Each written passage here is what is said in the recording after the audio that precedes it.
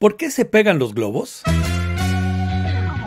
¿Por qué cuando hacemos una fiesta frotamos los globos con una tela o con el cabello y después estos se pegan a las paredes?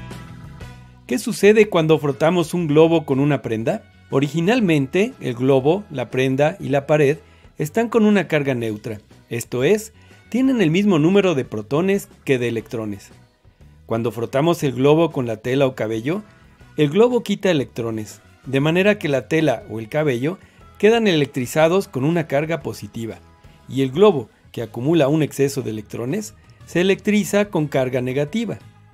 Cuando acercamos el globo con carga negativa a la pared, los electrones en exceso del globo repelen a los electrones de la superficie de la pared, haciendo que estos se alejen del globo, quedando únicamente las cargas positivas o protones en el núcleo de los átomos de la pared, que atraen a los electrones del globo.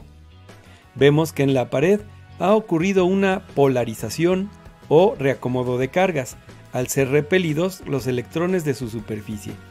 Y así es como se queda pegado el globo a la pared. Nota, hay un error en esta animación. Al acercar el globo, deberíamos haberlo girado para que su parte cargada quedara del lado de la pared, como lo muestra la imagen corregida.